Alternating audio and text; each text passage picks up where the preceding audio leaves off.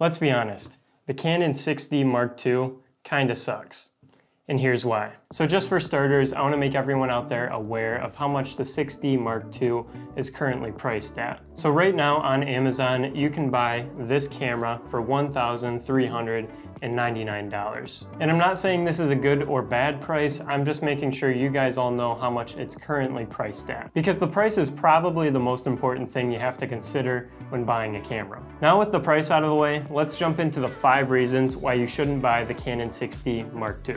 Number one, there's no IBIS. Now for all of you that don't know what IBIS is, it stands for in-body image stabilization. And what that basically means is that there's image stabilization hardware built into the camera. So if you're shooting handheld and your camera has in-body image stabilization, you should notice that it takes away some of those jitters and shakes when you're shooting video. It's a little bit harder to notice when you're shooting photos, but it should allow you to slow down your shutter speed a little bit more rather than if you didn't have IBIS and still achieve a sharp, crisp photo. Anyways, that's IBIS, and back when the 6D Mark II was released in 2017, I don't think a lot of other Canon cameras had IBIS. However, back in 2017, I'm pretty sure there was a few Sony, Fujifilm, Panasonic, and even Olympus cameras that had in-body image stabilization. On the other hand, brands like Canon and Nikon weren't really doing that at the time. I mean, when you look at the timeline of Canon DSLRs, from the time they first started creating DSLRs all the way up to more recently when they stopped making them and started making mirrorless cameras,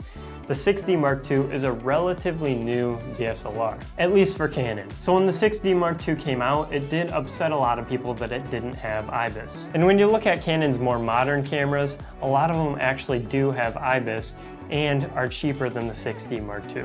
So it just makes sense to go with those newer cameras rather than this old timer right here.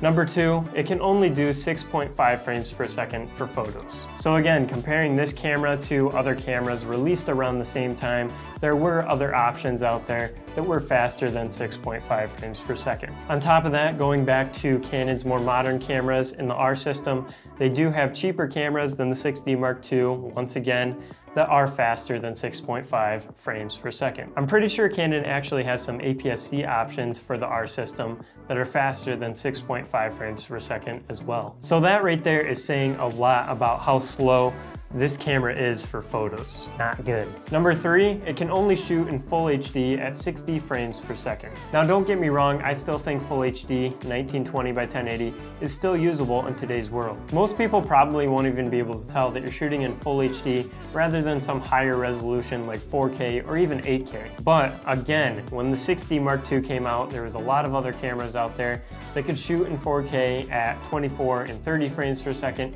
maybe even 60 frames per second. And on top of that, they could also do 1920 by 1080 at 24, 30, 60, and even 120 frames per second. So the 6D Mark II was kind of limited and not really future-proofed for shooting video. I mean, it can't even shoot in standard HD at 120 frames per second. Overall, the video specs are kind of lacking. Number four, limited and clustered AF points. On the 6D Mark II, you only have 45 autofocus points, and on top of that, they're all clustered in the middle of the viewfinder. So if you plan on taking some photos with this thing off to the left or right of the frame, and that's on the very edge of the frame, then you're probably gonna have to do the focus and recompose method because you don't really have any autofocus points on the left or right side of the frame to use to focus on your subject. Some people might not see this as a huge issue. For instance, when I use this camera, it's not a big deal to me, but it is a little annoying. On top of that, if you do use the focus and recompose method and you're using a shallow aperture, when you go to recompose your subject after focusing, your subject might now be out of focus. Because with that razor thin depth of field,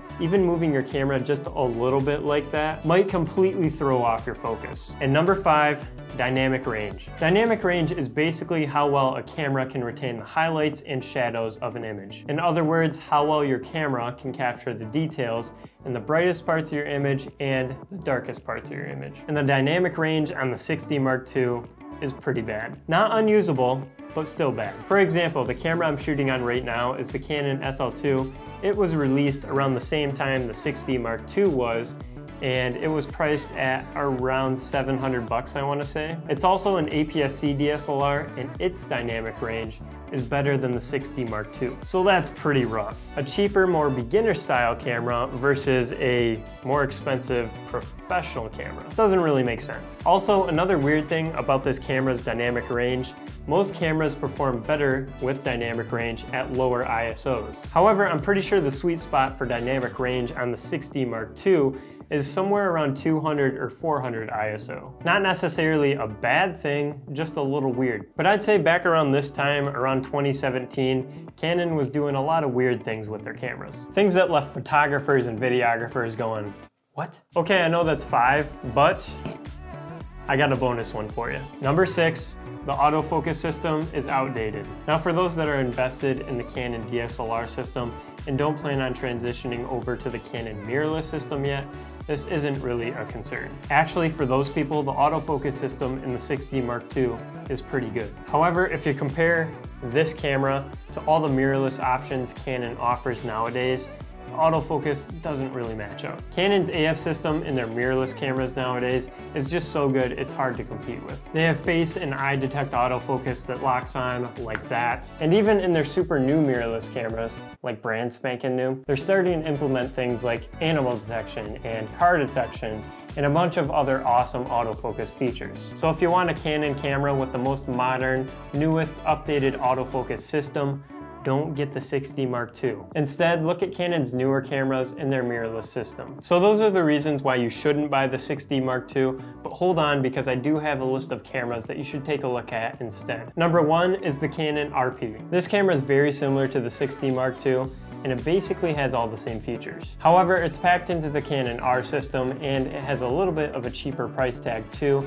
at $999. The second camera on my list is the Canon R, and this one comes in at 1399. I'm pretty sure this camera was compared to the 5D series back when it was released. A few cool specs about this thing, it can shoot in 4K at 30 frames per second, has a 30.3 megapixel full frame sensor, and can shoot in C-Log for video. Number three is the Canon R8. As of right now, this camera isn't out yet, but it's supposed to be released on April 18th. And it should be priced around $1,499. Also, I think I've heard people say that this is supposed to be the replacement for the Canon R. A few notable specs of this camera. It has a 24.2 megapixel full frame sensor, can shoot in 4K up to 60 frames per second, and has a recording limit of two hours. Pretty sick camera, I recommend checking it out. Okay, and last but not least, number four, the Canon R10. This camera is priced at $879. Also, this is the only camera I listed that is an APS-C mirrorless camera. The rest of them are all full frame. But a few cool features on this camera, it can do 15 frames per second in photo mode, has a 24.2 megapixel APS-C sensor, and apparently has lightning fast autofocus. At least that's what it states on Canon's website. Okay, so overall, the 6D Mark II is basically outdated at this point. It doesn't have IBIS, limited photo and video features, and it's just not worth buying. Instead, I recommend looking at more modern cameras in the Canon R system that are priced similarly to the 6D Mark II. The RP, R, R8, and R10 are all great options to check out. All right, if you guys enjoyed this one and you want to see more videos just like this one, subscribe to the channel by clicking right there. Thanks for watching, and always remember to capture great moments. Peace.